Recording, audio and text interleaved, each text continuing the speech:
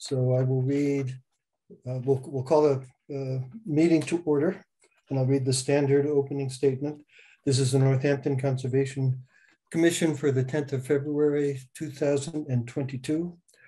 Uh, the, uh, and uh, by the way, the agenda says 2021, but uh, 2022. Uh, the commission is a group of unpaid volunteers who work to protect the natural environment of Northampton.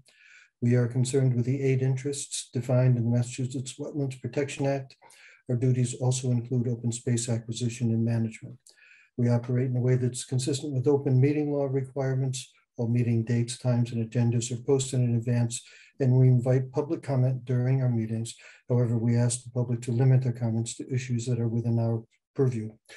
Today's agenda includes three hearings, uh, a notice of intent for drilling and boring monitoring for well installation.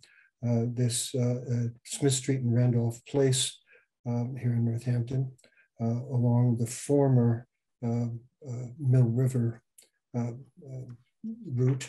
and then a request for determination of applicability to determine if demolition of existing structures and lot clearing uh, will alter resource areas, this on Landy Avenue. And then a request for determination of applicability to determine if walking path boardwalk installation within the buffer zone to bank and wetlands will alter resource areas, this at the Rocky Hill Greenway. Uh, to begin, we had three sets of minutes to review and approve. Uh, uh, take the first um, uh, which was the 19th of August. Um, Sarah sent out three sets. Uh, the commissioners have had a chance to review them. Um, uh, someone want to make a motion to approve that first set of minutes for August 19th? So moved. Second. Second. Okay, made and seconded. Any modifications or amendments? If not, all in favor? Uh, Sarah, roll call. Randy? Yes. Kevin? Did you say my name? Yes, Kevin. Okay, sorry. Yes. Uh, Jen? Yes. And Alec? You're muted. muted. Sorry about that. Um, I wasn't present to that meeting, so I have to abstain. All right. Can we, is, is three enough, uh, Sarah, for approval of Uh, minutes? n- no, so we'll We'll have have to to revisit those. table those until another meeting. Okay. I wasn't uh, at, uh, e- at any of the three. Okay, Ah. so we, we will so table these until. Unfortunately, Revisit Until minutes next meeting. for, okay. apologies. Um, So the first, uh, we- there was a notice on the screen of the meeting is being recorded. Uh, And I'll ask if there are any general public comments not having to do with any of the specific cases that we're going to look at tonight.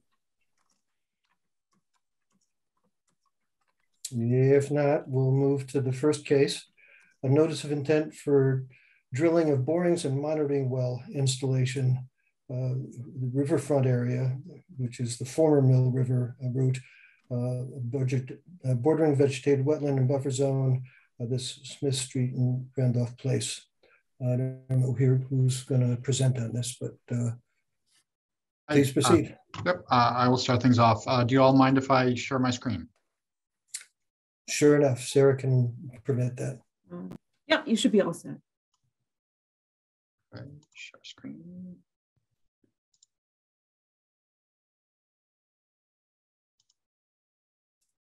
Can you see that? Yep. Okay, excellent. Uh, First off, thank you all for your time tonight. Uh, My name is David Leone. I'm a licensed site professional with GZA Geoenvironmental. Uh, I'm here to talk about this uh, NOI application filed by Eversource Gas of Massachusetts, or EGMA, uh, for the assessment of the Mill River Channel. Uh, I'll give a little background on the reason for our work. Uh, My colleague Kim DeGudis uh, will then take over and talk about the resource areas. Um, so this work is related to the assessment of the former manufactured gas plant that operated near Crafts Avenue uh, to the west of this area uh, from the 1850s until 1951. Uh, assessment and remediation of residual contamination that was associated uh, with that plant was initiated by Columbia Gas of Massachusetts. Um, in addition to the uh, upland area to the west, uh, the affected area includes portions of the former Mill River Channel, which has since been filled, and a portion of the, um, of the Mill River itself. Uh, prior studies at several area properties have shown that there's a thin, uh, discontinuous layer of dense non-aqueous phase liquid or DNAPL uh, in the form of separate phase coal tar uh, that's present at a depth of about 20 feet below ground on a clay layer that underlies much of this area. In July of 2018, uh, sheens and odors were observed along a limited portion of the Mill River Channel. Uh, that issue was reported to the Massachusetts Department of Environmental Protection, uh, and Columbia Gas conducted several response actions, ultimately resulting in the placement of a reactive core mat along a portion of the riverbank in February of 2020. Uh, that reactive core mat has been effective at um, preventing significant sheens on the surface water since. EGMA purchased the assets of Columbia Gas uh, in October 2020 and his continued assessment activities related to the source of the sheens as well as the extent of DNAPL associated with the former manufactured gas plant. Uh, the work's being done in accordance with the Massachusetts Contingency Plan or MCP. Um, much of the affected area has reached uh, a permanent solution under the MCP. Uh, the remainder has a temporary solution. Uh, EGMA has hired GZA to conduct the assessment work, uh, and I'm the licensed site professional of record who's overseeing that assessment. So the intent of the work that we've put in front of you uh, is to close some data gaps with respect to the extent of DNAPL beneath the area in question, uh, both to better define the disposal site under the MCP and to assess uh, if DNAPL may be acting as a source of sheens uh, that have been observed in the river. Um, the results of our assessment would be used to determine what additional response actions might be necessary to mitigate those sheens. Uh, we plan to install six borings on the portion of 23 Randolph Place that's located to the, um, to the southwest of the Mill River. Uh, locations will be based on access, uh, but our intended locations are shown here. Uh, there are six orange uh, boring locations. Access to 23 Randolph Place will be across 32 Smith Street and to Randolph Place. However, other than potential limited clearing for access. Uh, no work will take place on those two properties. Uh, we'll utilize a small track or truck mounted drill rig. Um, work should only take a day or two. Borings will be completed down to the clay layer at approximately 20 feet. If separate phase product is encountered, um, a groundwater monitoring well would be installed at that boring for future sampling. Uh, each well would be finished with a locking standpipe for security. Uh, any excess materials that are generated during our work will be removed from the resource area on the same day of the work. Uh, and then moving forward, the wells would be periodically gauged uh, and would eventually be decommissioned and removed when they're no longer needed. Uh, so in short, this project is related to assessment under the Massachusetts Contingency Plan. Uh, it's of limited duration and it should have minimal impact. Uh, so with that, I will pass things off to Kim. Thank you, Mr. Leone. Uh, my name is Kimberly Dudas. I'm a professional wetland scientist. Uh, just going to give you the, the quick hits on how this project relates to the Wetlands Protection Act um, and expand a little bit on what Dave was talking about. Um, in front of you, you have the proposed improvement plan. That's what we typically call it. Uh, the yellow dotted line is our proposed route of access. Um, we say proposed because if there's going to be obstructions in the way of the machinery getting to those drill sites, things like trees, um, we want to give the, the drill rig uh, the ability to negotiate around those trees so there's no tree cutting and there's limited um, temporary disturbance to the wetland and to the riverfront area, okay? Uh, in terms of the wetlands, what you can see on this plan is that green shaded area is the wetlands as a GZA wetland scientist had delineated back in July of 2021. Uh, the blue encompasses the Mill River, so that's the bank. The aquamarine green line is the 50 foot protected buffer zone. The uh, green line to the left of that one with the dots in it, that's the 100 foot buffer zone. Mm -hmm. Yep, and then the blue line is the riverfront area. So just so we can see what the regulatory boundaries are on the plan. Mm -hmm. um, for purposes of being overly conservative, uh, because as you can see, uh, and as Dave had mentioned, the orange dots are the approximate locations of the sample locations. One of those sample locations, it appears to be right on the boundary of the BVW and buffer zones. So we just included it in BVW just in case. So that would mean a total approximate permanent impact of 20 square feet. Uh, as part of this application, we are requesting a de minimis exemption for replication requirements. We're also requesting a variance to the 50 foot uh, protected zone um, from the bylaw, just so that we can get access to uh, the area and also for the installation of that one potential monitoring well that's located out, outside of the BVW. Um, as, as we said, the, the access route's going to be uh, temporary disturbance uh, and the only permanent disturbance are going to be the well locations. Does anybody have any questions? Questions from commissioners?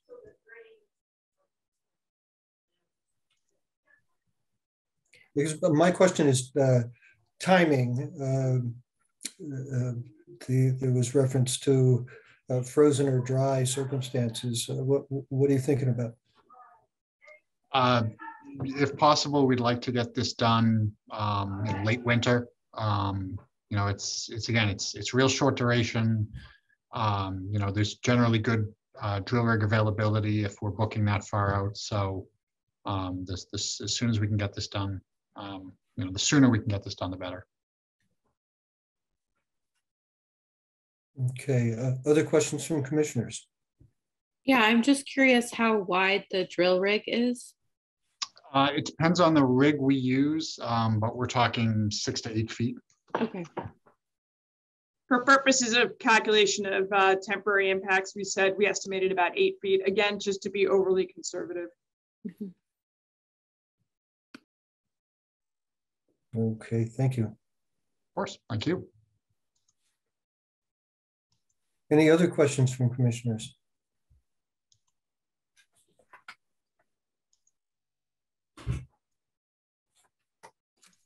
If not, can we, oh, before I ask for a motion to close the hearing, any comments or uh, questions from uh, members of the public?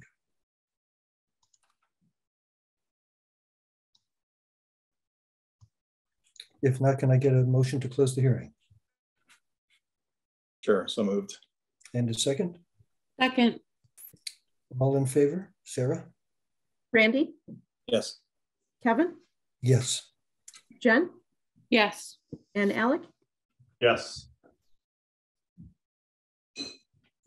looks um, well thought out um, and necessary and um, uh, relatively easy to permit. Sarah, you had um, conditions, once we're assured, as they said, that they're going to do it during um, frozen conditions, uh, that uh, if they uh, are going to have to remove uh, trees or uh, do any removal and replacement, that that plan would be submitted before work would begin. And that we'd authorize uh, staff, Sarah, to um, approve that before the work would actually go forward. So that would be an additional condition. Um, were there any other conditions, Sarah, you were suggesting? I don't think so. Um, and the, the applicant had indicated that they were, were requesting a variance from the wetlands ordinance, which isn't actually something that Northampton is able to do, but that's not necessary in this case, since this is a limited project and work within the protected zone is permitted in accordance with that. All right, can uh, someone make a motion to uh, grant an order of conditions, standard conditions, plus that one additional um, condition? Sure, so moved. And a second? second, Second. All in favor? Randy, Yes. Kevin, Yes. Jen, yes, and Alec? Yes. All right, good luck. Thank you. Uh, And again, thank you for your time. Thank you. Sure. So long.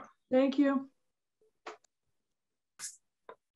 Uh, Next case is a request for determination of applicability to determine if demolition of existing structures and lot clearing within the buffer zone will alter resource areas, this on Landy Avenue. Um, Who's here to make a presentation for that? Hello, everyone. This is Ryan Nelson from R. Levesque Associates, representing the uh, applicant New Way Homes. May I be allowed to share my screen, please? Yep, go ahead. Thank you. So the subject property as stated is 39 Landy Ave, this property here. Currently, there's an existing house on the property with a garage and some outbuilding accessory structures.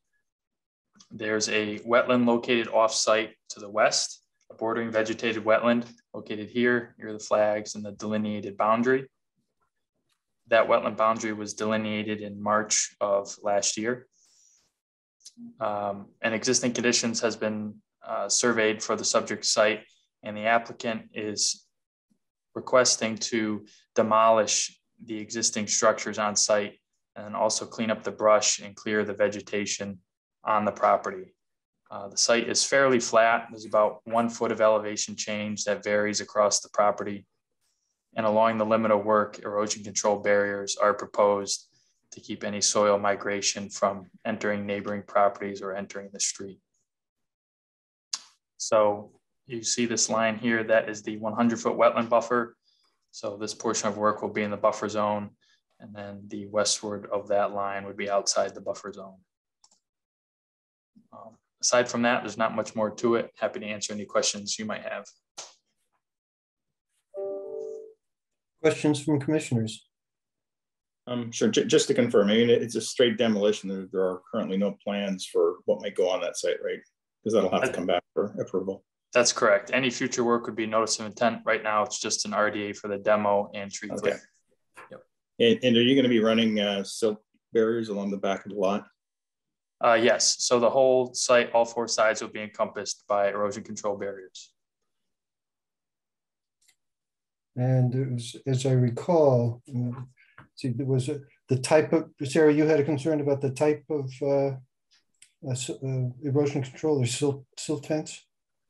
Yes. uh, fiber instead of roll. fiber roll? Yeah, right, okay. fiber roll was shown as the erosion control uh, around the entire limit of work at the rear of the site closest to the wetlands. I was just suggesting that that be substituted with a- a full silt fence barrier. We're, we're agreeable to that. That's not a problem. Other questions from commissioners?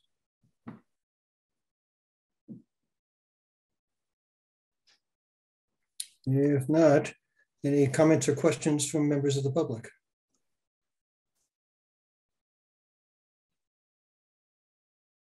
Uh, yes, hi, my name is Reese Epic. I'm a neighbor. I'm, I just, I didn't catch where the one hundred foot buffer zone is, uh, on the, Can you see the screen? yep. Okay, you can see the, uh, Oh, so that's, okay, so basically three quarters of the property are within a wetland zone? well, within, within a buffer zone. Uh, excuse me, the buffer zone, okay. And what is that material you're gonna use to prevent erosion? The silt fence, I, I'm sorry, I didn't hear that silt fence? silt fence, it's a standard um, staked um, uh, uh, uh, one of the people who's more technically knowledgeable about this can, what the material actually is, but it's uh, um, Sure, it's, it's a, an upright fabric that allows water to Right. pass through. And it retains the sediment within the work zone. I see. And so that's removed after the work is done? Correct. yes. Okay, thank you. Any other questions or comments? If not, um, this is, uh, we don't need to close the hearing because this is a, an RDA, is that correct? Right. Okay, so uh, look for a motion from commissioners to, let's see what the the um, usually checkbox three, uh, uh, the motion would be to um, issue a negative determination, checkbox three with standard conditions. um, And a revised site plan with narrowed limit of work and associated erosion control must be submitted for approval prior to the beginning of work. And that will include the silt fence rather than the fiber roll. And Kevin, staff was suggesting that stumping and grubbing the site would result in a lot of uh, sediment mobilization and that that not be included in the negative determination, if that's amenable to the commission. I'm sorry, Sarah, um, my computer was cutting out a little bit at the last part. okay. My, my good headphones broke. I'm waiting for my new ones to be delivered. Um, so staff was suggesting that the, the clearing and grubbing of the site of all vegetation as proposed could potentially result in a, an alteration to the wetland due to sediment transport when weather changes, especially in absence of an approved development proposal. Um, so that the commission might want to consider removing that from the, the determination.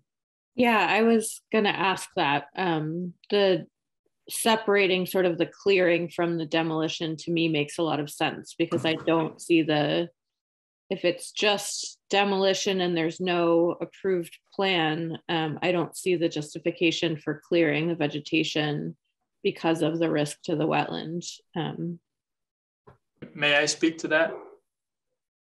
Sure, please. Um, just from a, a practicality and logistics standpoint, if if the machinery, you know, there's mobilization costs, if we have an excavator and the equipment there to demo the house, it makes sense to clear the lot then rather than come back again in the future. Um, and that was the whole point of the, the erosion control barriers. If if we were just doing the demo, that wouldn't be necessary. And the site is fairly flat. There's less than a foot of grade change across it. So um, with a properly installed silt fence, I, I would argue that soil migrating leaving the site would not would not be a likely occurrence. What's the timing that you're imagining doing the?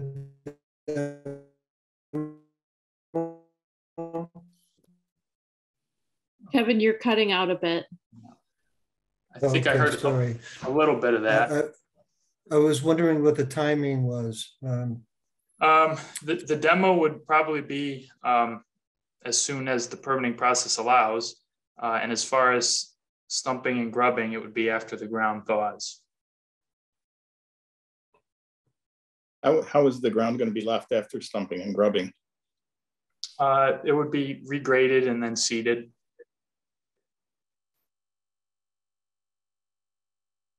So your, your typical Okay. dry or stabilization cover.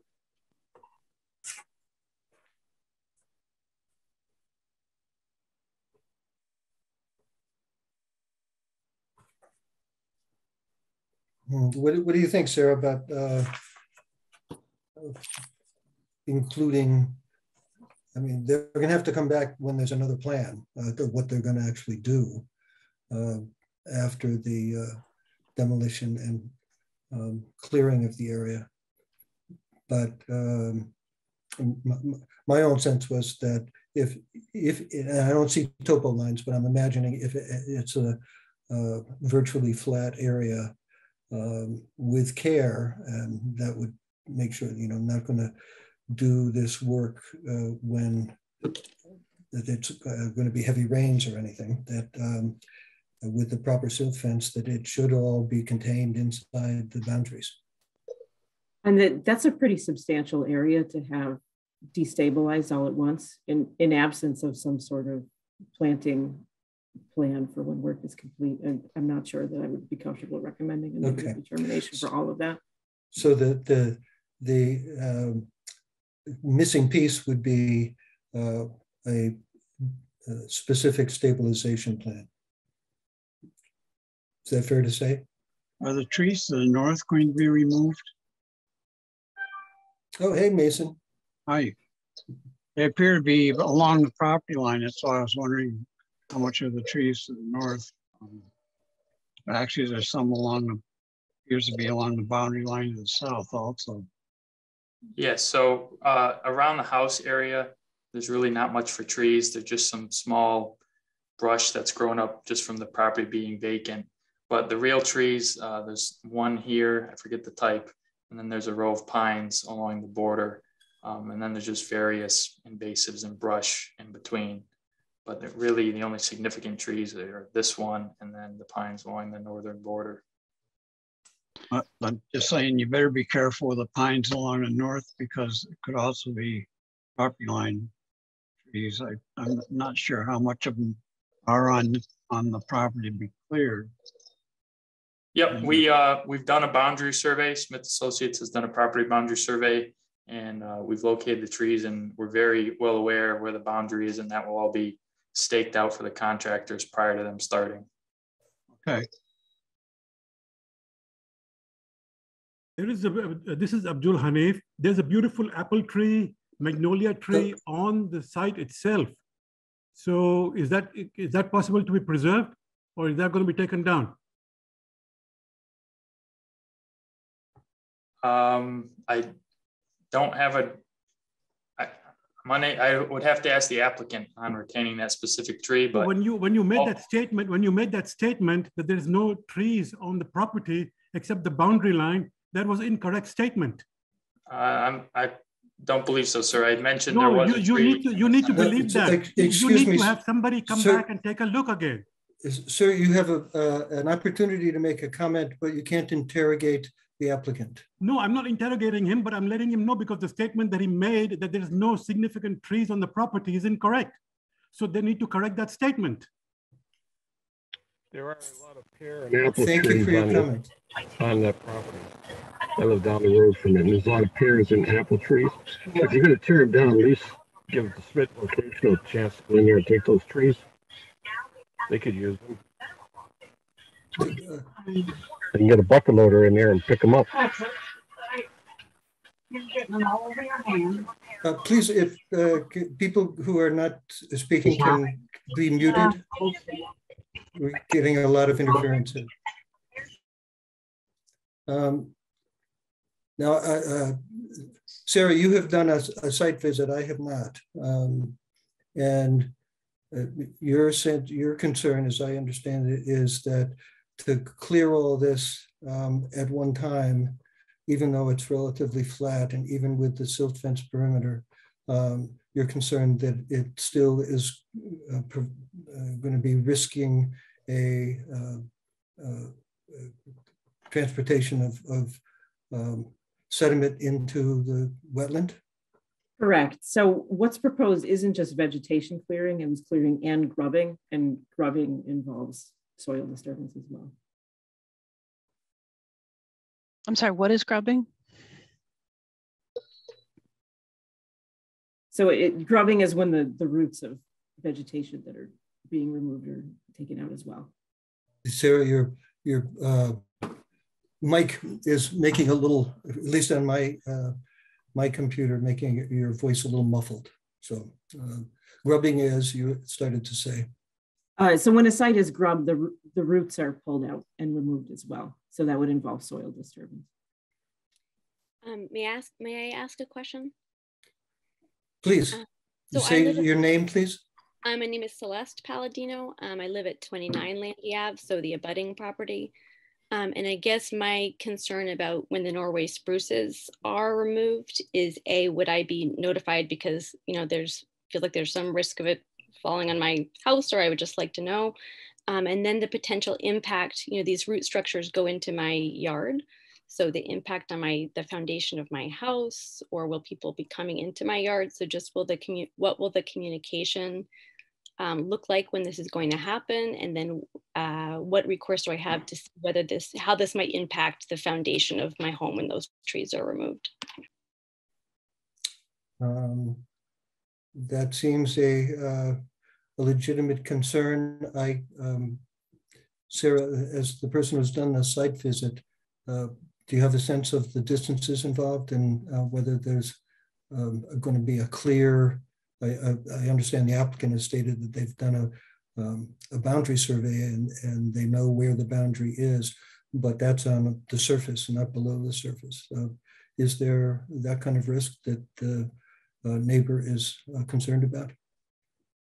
Yeah, I mean, depending on the size of the root ball of each of those trees. Um, and again, as I noted, it's it's not just cutting of the trees. Grubbing was also indicated. so I- right, right. That that would indicate that those root structures would be removed, but um, you know, the, the applicant didn't go into that that sort of detail.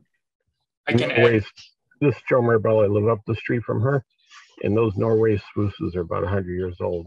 I'm sure that there's gonna be a lot of roots going under her property, abutting her foundation of her house. So it helps me understand, Sarah, your concern about that it's not just cutting, but the grubbing is going to be producing uh, much more substantial soil disturbance than if it were just demolition and, and uh, cutting of, of uh, trees. Uh, Mr. Chairman, may I add to that? Please. Um, would the commission entertain that trees above a certain diameter be ground, the stumps be grinded rather than removed with an excavator? That way there's no disturbance to, uh, or less disturbance to the neighboring property. Um, and it would, That was going to be my suggestion.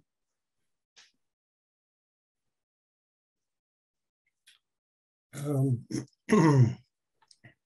yes, uh, our, uh, just to, to clarify that our purview is um, really not so much about uh, legal boundaries, but uh, about the impact to the jurisdictional area, the wetlands and buffer zones.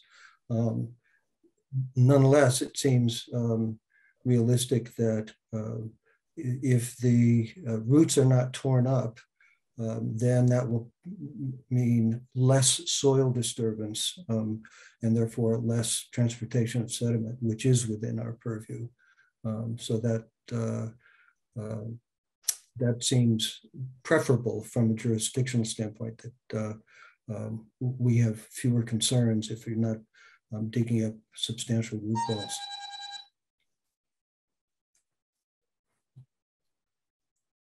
I would agree, and we would be amenable to some sort of condition that would state trees are to be cut flush to grade and ground in place.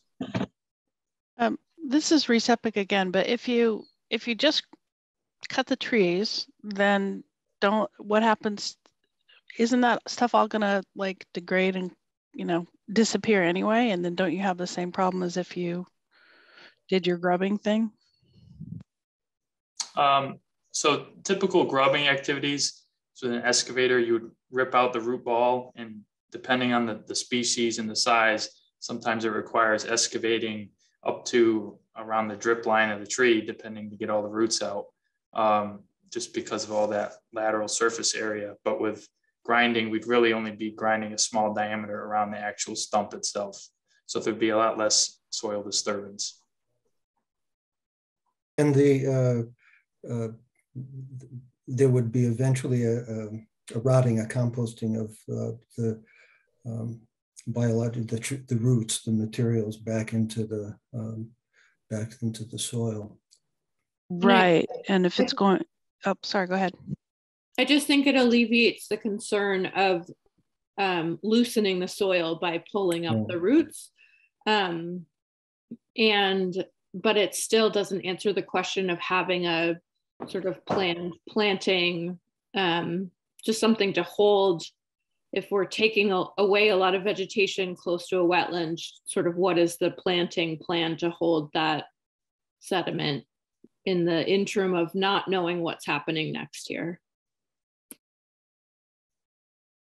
Right. My earlier comment was not having a, a, a specific uh, stabilization plan uh, seemed to be a missing piece. But um, uh, perhaps if, if uh, let me propose that if, if in fact um, the uh, at least any substantial trees, and I don't know um, quite what the uh, trunk diameter would be to count as substantial, but um, all along that northern edge were um, not uh, excavated, but um, cut flush and ground. Uh, and that before work begins, um, uh, staff approves a stabilization plan, which the applicant would have to present. Um, then will that take care of uh, uh, Commission of Jen, for instance, your concern? Yes. Okay. Can, can I pop in here with something? I raised my hand, but that doesn't seem to be. oh, I see. Well, we, once once the, you're sharing screen, not everybody shows up. So please okay. go ahead. Just state right, your name. Over my hand. My name is Diane Scott. I live at 44 Landy Avenue, the property that is um, almost across, well, directly across the street from the property, not so much from the house. Um, I just want to reiterate something that Abdul said, and that is there are significant trees that are on the property that are not the Norway spruces. There's um, a huge uh, shrub of um, arborvitaes. There's a fully mature 50 year old um, magnolia tree and 50, 60 year old uh, rhododendrons that encircle the house. The, these people use and apple trees. There are several apple trees, apple trees that were on the property. The previous owners, before they died and got sick and stuff, um, grew. That's what they did with that land. They grew um, fruit trees. They had fruit bushes. They have a beautiful wisteria vine in the back, but there is significant greenery on that property. And so um, I just I just really want to reiterate that that's a lot of roots. That's a lot of roots. And so any work that's being done to just cut flush and excavate and even do the small amount, even when they go to dig the holes for the foundations, there's going to be a huge um, disturbance to the ground. So I just want to state that if somebody's not, if somebody on the committee isn't isn't familiar with the property, perhaps it's a good idea to come down because it's not just greenery that's grown up since the house has been vacant. It, you know, little one inch things. These are full grown, full size trees that are on this property. So I just want to put in my two cents there that I'm concerned about the damage to the wetland um, and the just in general the respect for the property. I understand.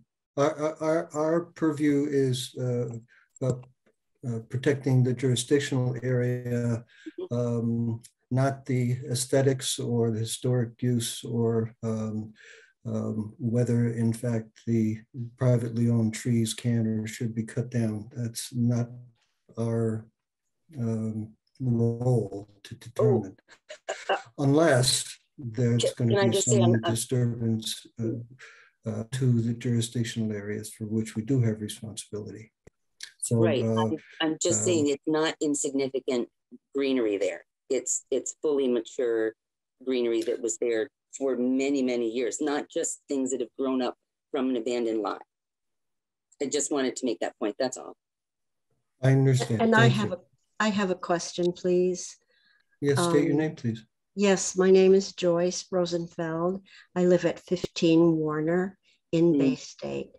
And I'm I'm just wondering, you know, as a novice, um, because we don't know the future plans for this site, what the future plan might affect the wetlands in thinking of all of this. They would, the applicant, before any future plans were approved and before they could do any work, would have to come back before the commission to address any of the activity that is within that jurisdictional area. Right, but so already damage was. That's why there's. But already things are being done. So it seems true. to me that that the, it seems to me that there's a flaw there and a separation that is artificial but that's just my opinion. I uh, I understand that opinion uh, that opinion, and uh, in fact, there's a determination of applicability as opposed to a notice of intent to do a project, and we're that is a, a legally determined separation. Um, I understand. And we're exercising our judgment about the first of those about hey, a private owner has a right to uh, do this kind of thing with their land. Uh, I understand. I'm just our purview has to that work.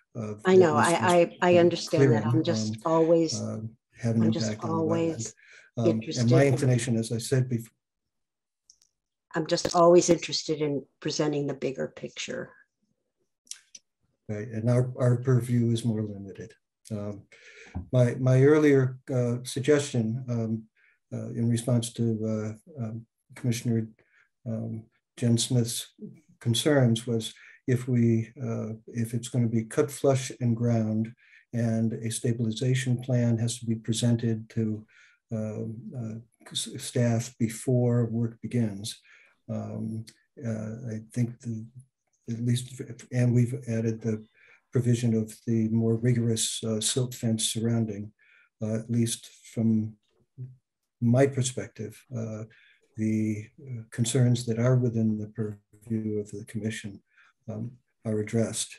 Um, I don't know if that is the opinion of the rest of the commissioners. I uh, we're not all in the room. Sometimes when we are, we can see body language and facial expressions and nodding and so forth. And I can't see any of that right now. But um, I think this discussion has been helpful to um, understand more of what's going on.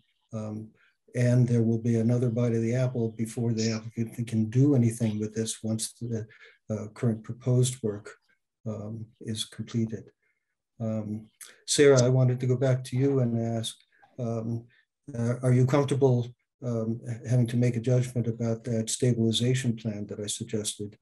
Um, and based on your um, site visit, uh, is it realistic that uh, um, uh, without major excavation of root balls and so forth, so it's cut to ground level and and um, uh, and then just ground uh, rather than excavated.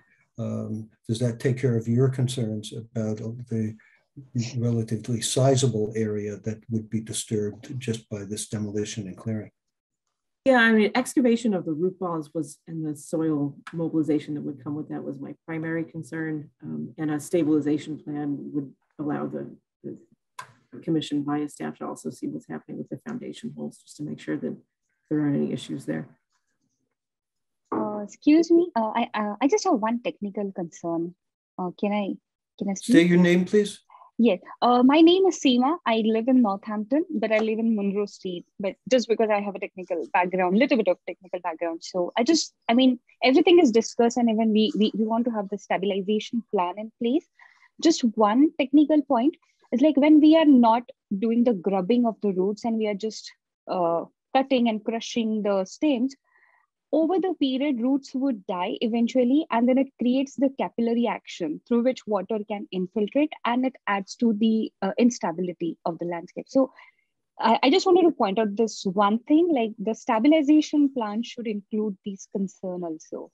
And it also depends on underlying geology, like how, how that water infiltrates. Particularly, it will, it will create the hollow spaces along the roots when root are dying. And because it's so much of vegetation, so it will be a lot. So just one technical point I thought that I should add, which the applicant should also consider. So it is going to be a long-term stabilization plan.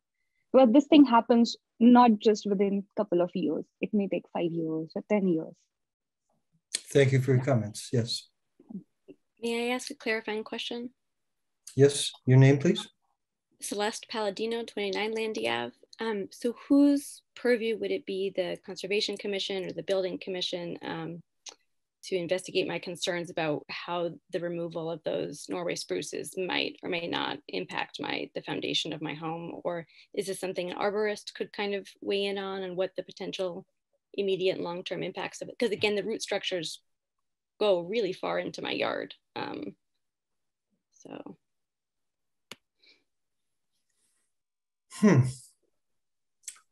Well, um, I don't have a clear answer to, uh, I mean, it's not, again, it's not our purview uh, because we're dealing with the jurisdictional area. Um, uh, Sarah, do you have a suggestion about where uh, um, uh, Ms. Palladino might turn to have her concerns addressed? hmm. You're muted, Sarah Sorry about that. Uh, an arborist would be able to give some guidance as to the size of the, the root ball structure for those trees, but I don't know if they would be comfortable extending that to implications for your foundation. So that would be something that I would have to seek out. Okay, not the property owner. Okay, thank you. Yeah, like I say, our our our job is to figure out what the impact's going to be on uh, wetland jurisdictional areas uh, in buffer zones. Um, thank you. So, um, any other public comments? Uh, this is Joe Marabella again from 14 Landy Avenue. Mm -hmm. um, I'm the one who mentioned about the fact that there's apples and pear trees and a few other trees. I know the deers like to eat off of them right now, but uh, I hate to see those trees be torn down and destroyed.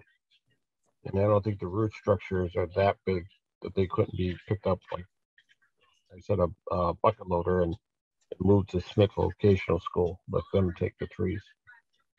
A lot of wildlife up there that would love to eat off of them too.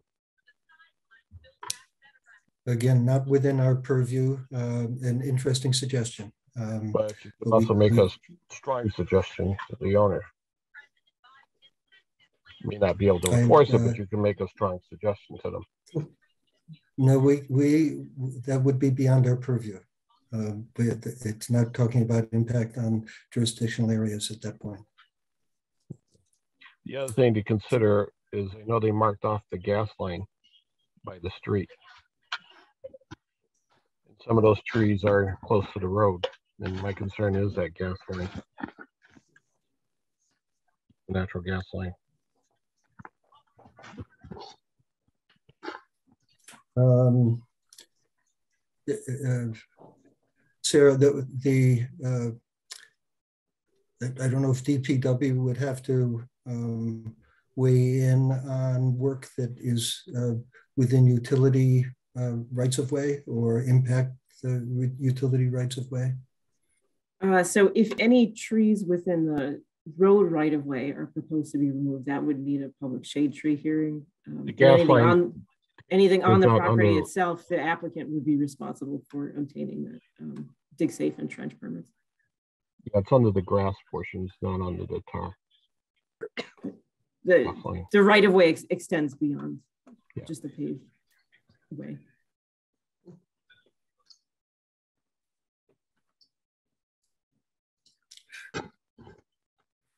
Kevin, can I ask a clarifying question? Sure, Jen, go ahead. We're not closing the hearing, is that correct? So this is our Well, main commissioner discussion. Right, this is, uh, uh, we're still in, in, in open hearing because with an RDA.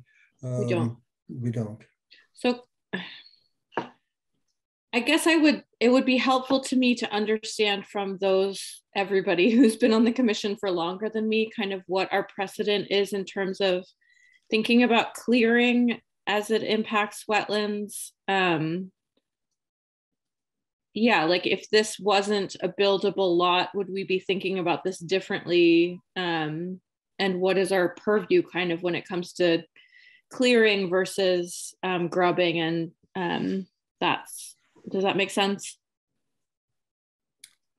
Well, I- uh, I, think if, if this were on a steep slope, uh, leading directly into a jurisdictional area, that, uh, then we'd have to, um, consider whether in fact there might be, i- is uh, sediment transport, uh, preventable? Um, or would there have to be extraordinary efforts to prevent it? Um, in a relatively flat area, um, you know, private landowners have the right to do a lot. Yeah. Um, okay If, That's helpful. however, way the Wetlands Act is written, if something should go wrong after they're clearing and grubbing and it starts to get into the wetlands, then we have jurisdiction over the whole site. Mhm. Uh, you know, well, we, we've got jurisdiction over most of the site anyways, but we could take it out the front property line. Um, unfortunately, the way the Wetlands Act is written, it's, it's, uh, if and when it impacts wetlands area. So we're- Right. We're kind of stuck with that. um, but that's really helpful thank you both By them um, giving us some kind of a, a good stabilization plan that stuff isn't gonna move into the wetlands. That's all we can hope. We have no rights as to how they're gonna take the house down or whether they can leave trees or not leave trees. It's private property. As, as long as it uh, doesn't impact the wetlands and they abide by our, our decision, that's, that's uh, basically what we have to deal with. So a, uh, um, um, if, if I try to summarize the, all of this discussion, that um, we uh, would uh, determine that um, um, yes, it will have um, uh, the, work that does take place in a jurisdictional area will not increase at this point until some future plan is presented to us uh, about what they're going to do with this land.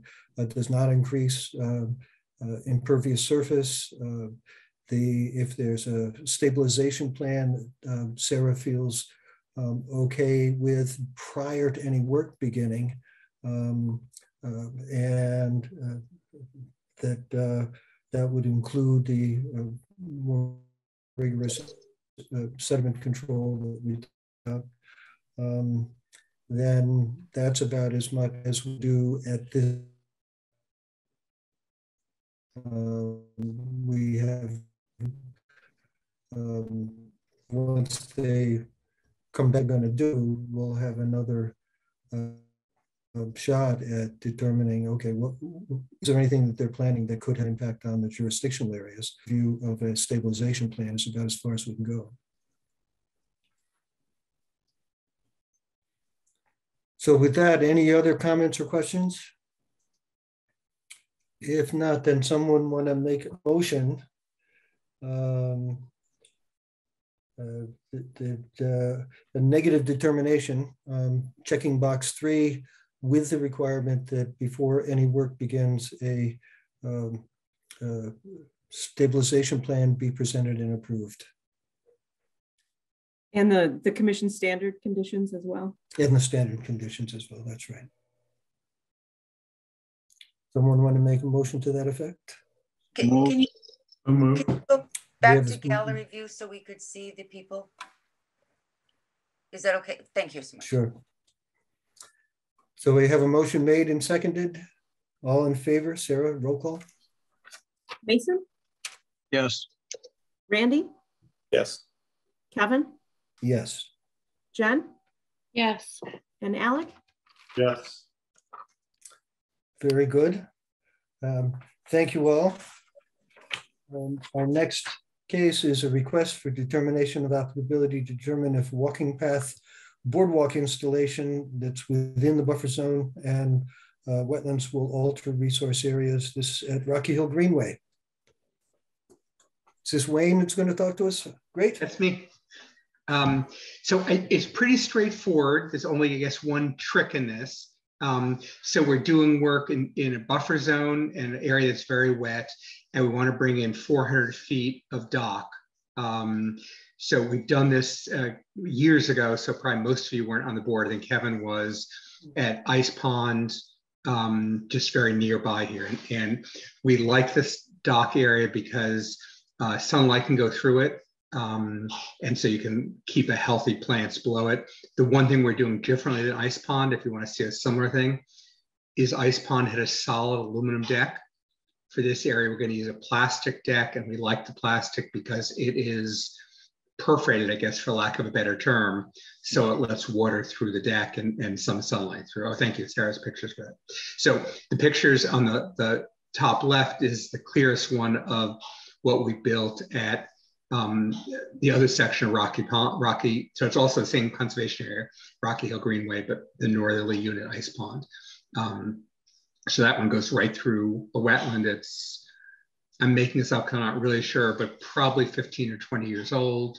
Um, we don't need to use preservative. We don't need to, the rivets popped out at one point, but we could fix that. That was a non-invasive thing to fix.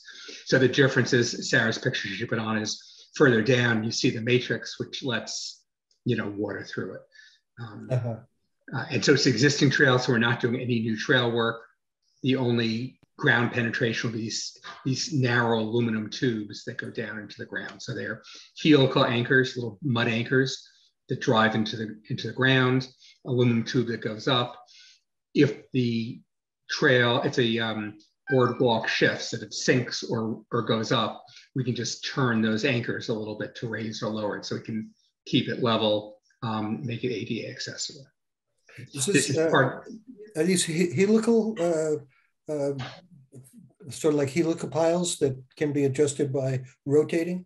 That's exactly right. I mean, they have massive helical piles that big trucks install. These are little hand helical powers. So they're, I'm making this up, so don't quote me, but it's about a three inch diameter, maybe it's a two inch diameter, I'm not quite sure. Um, so it just attaches the end of a, of a hollow aluminum tube so it can drive from it. so this, this 400 feet is the part that's jurisdictional. Um, beyond that, we are still planning, again, this existing trail, we're planning to do additional trail work and make that trail um, ADA compliant, have an accessible trail, but that we're not working on now. We're just working on the docks.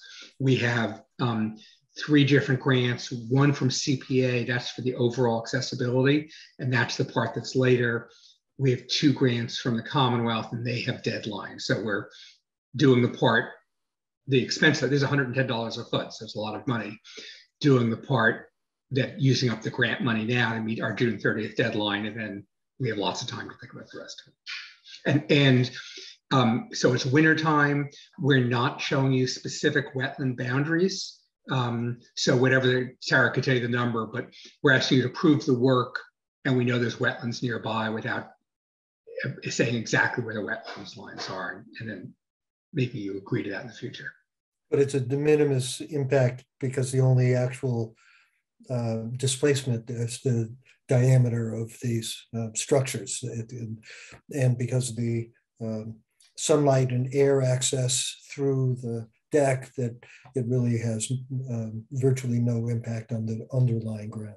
That's exactly right. I mean, just for comparison, so we did something, I probably Mason was the only one on the Conservation Commission at the time, but 31 years ago, we built a boardwalk at Barrett Street Marsh. And I mean, boardwalk's very tired, but because it's a solid boardwalk, it definitely shades it. You don't get a lot of vegetation. We have a significant erosion problem below the boardwalk. We have none of that at ice, the ice pond site where we've had it for 20 some odd years. And th this is somewhat of a unique site and then it, it, used to be wetlands and we are hoping to help it become wetlands again, but none of the places that we're proposing to install the docks are currently wetlands. Uh, we hope that they will be in the future. So if you compare the map that I provided along with the request for determination, these are all in areas that are historic wetlands according to this.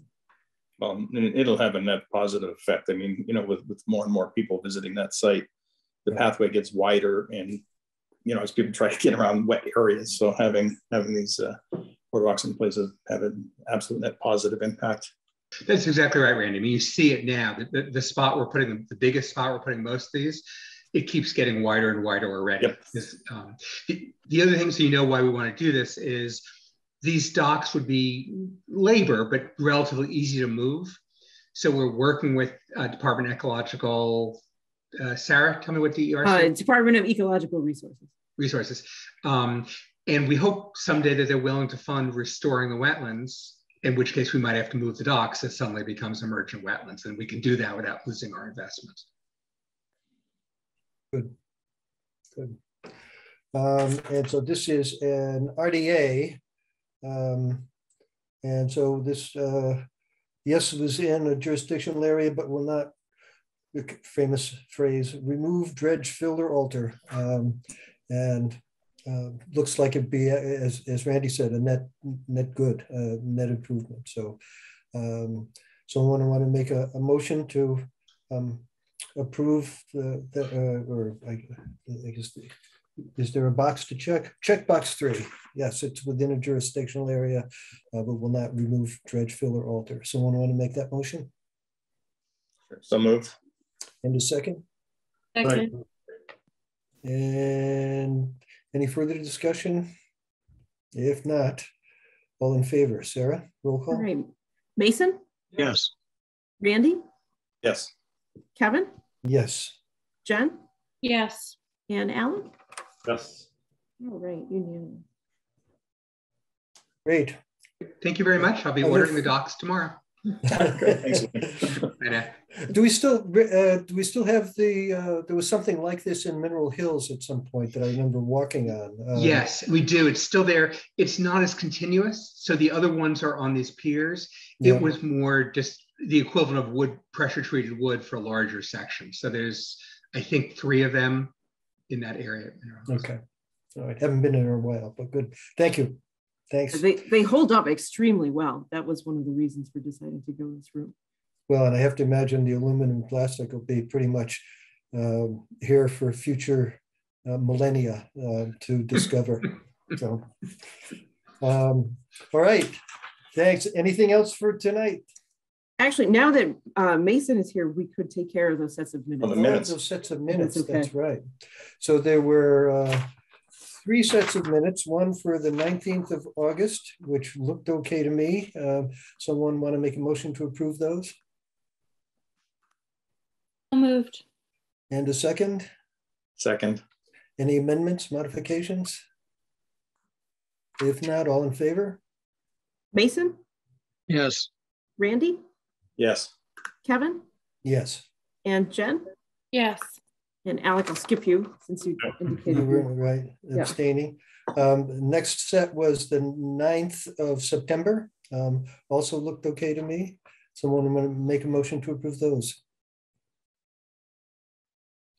Do we, do we have enough people present?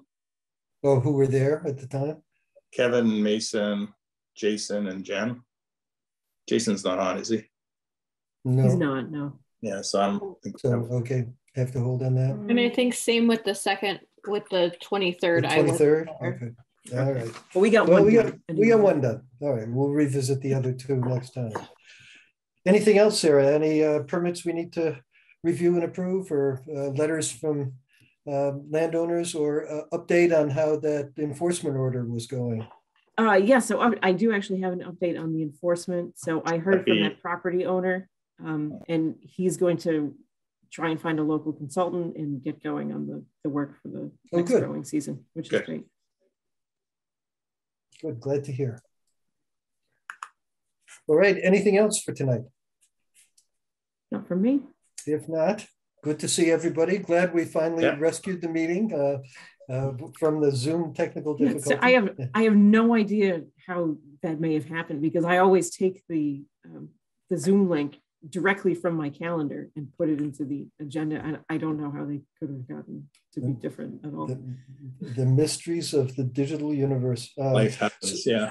Yeah, I'm sorry, I missed all that. Right, no, you could- came in late, Mason. So we, we had a- an adventurous beginning. Um, So, uh, but this goes back to on the 24th, right now, we don't have a meeting unless something comes up between Yeah. I, I don't think we're going to need to meet on the 24th, but I'll, I'll let everybody know if something late and um, pressing comes up. So the next meeting will be March 10th. Assuming we have uh, cases to review. March 10th. Okay, very good. Thanks, everybody. Good to see you. Okay, great. Thanks so much, everyone. Bye. Bye-bye. Take care. Bye now.